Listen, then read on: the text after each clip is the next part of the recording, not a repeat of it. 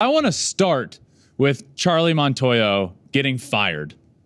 And and this sort of came out of nowhere Wednesday. Nobody really saw this one coming. It kind of caught me by surprise, and apparently a lot of people as well. But Montoyo is gone from a team that many picked to win to get to the World Series to to win the American League. And this was a, a a sexy pick, if you will, to win the World Series this year. And now Montoyo is gone. So before we get into to my thoughts on that, let's just take a look at what he's done since he got there. You know, one his his record since he got there in 2019 236 and 236 on the dot so when all is said and done with montoyo in toronto he is a 500 manager there so since June 16th, okay, of this year, this Blue Jays team that is extremely talented, has a ton of offensive firepower, was expected to do some damage, and many people were predicting them to at least win the American League East. Since June 16th, that talented Blue Jays team has the second worst record in all of baseball at 9 and 17. Only the Washington Nationals have been worse than the Toronto Blue Jays.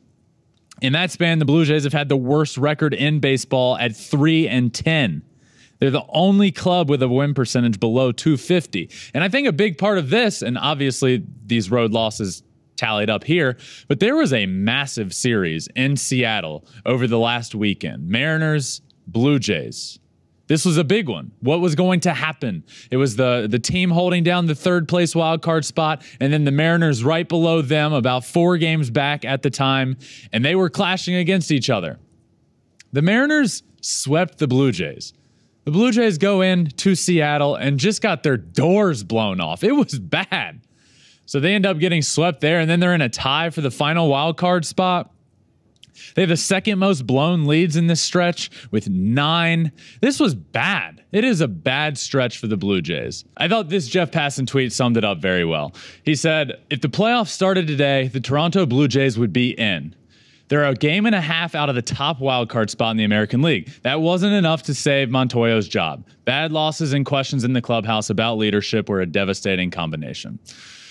So, yes, those are the facts over the last, you know, since in the last month, they've been really bad.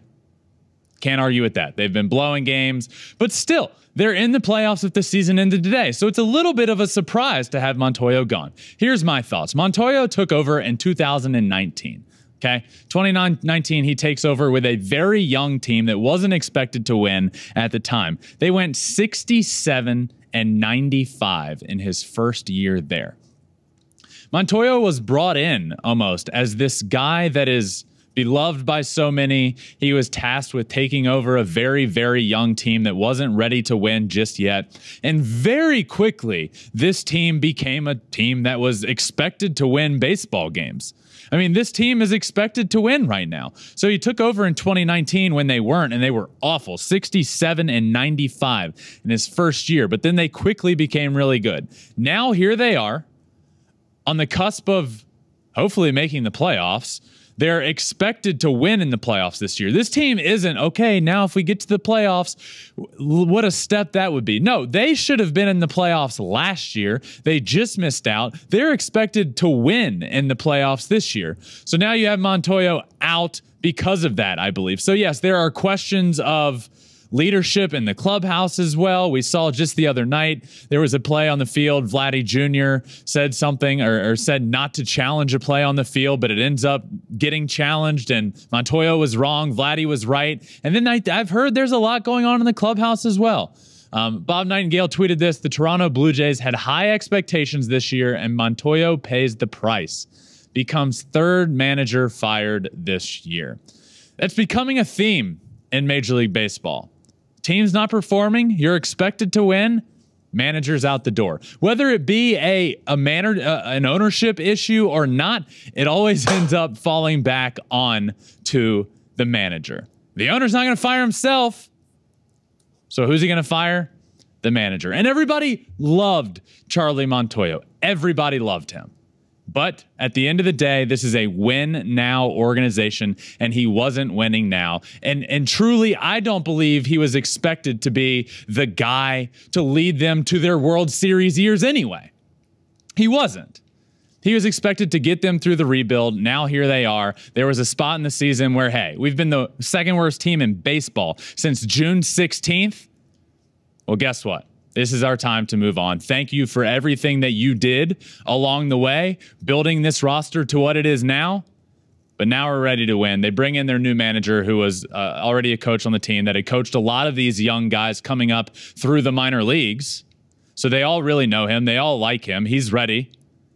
Now Montoyo's gone. Let's see what the Blue Jays do from here. The two other managers that were fired this year, Joe Girardi, well, the Phillies took off and have been fantastic ever since. Joe Maddon, well, we all know the Angels have gone in the opposite direction. So, what are the Blue Jays going to do? Time will tell.